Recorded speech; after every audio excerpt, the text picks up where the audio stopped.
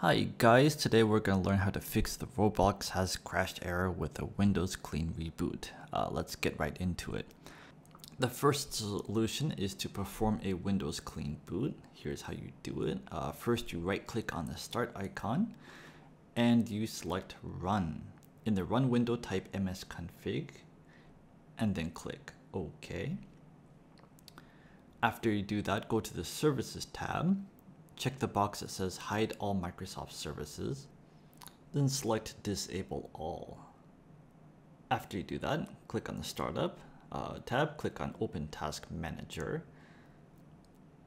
In the task manager, uh, disable all the startup items. Just right click on each item and click disable.